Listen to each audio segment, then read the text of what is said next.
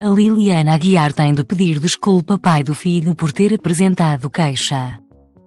Ponto e vírgula Liliana Aguiar e Francisco Nunes separaram-se no início do ano e a figura pública até avançou com uma queixa. Por alegada prática do crime de violência doméstica, contra o ex-companheiro. Ponto e vírgula depois disso, foram muitas as notícias que saíram na imprensa, por entre as quais sobre uma alegada dívida de cerca de 12 mil euros que pertenceria a Francisco Nunes, mas que este se estaria a recusar a pagar. Também este estaria na iminência de avançar com um processo contra Liliana para defender o seu nome em relação a todas as acusações de que era alvo.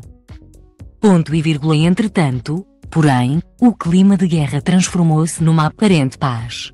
Os dois foram vistos na praia e surgiram rumores de uma reconciliação. Embora Liliana Aguiar já tenha garantido, em resposta a várias perguntas de seguidores no Instagram, que não está junta com Francisco Nunes. Ponto e vírgula Quintino Aires comentou o assunto no programa Noite das Estrelas desta quinta-feira. Na CMTV, e não poupou a modelo. Não é só muito sério por ser uma das vergonhas mais marcadas no século XXI? É também pela leviandade com que se trata deste assunto, com que se lida com este assunto. E tanto é grave que o homem agrida, como é grave que a mulher lá fique e concorde por não ter capacidade para ir embora, como é grave que se faça uso de tudo isto para divulgar, referiu. Ponto e vírgula ninguém tem o direito de incomodar os outros com estas guerras que têm em casa.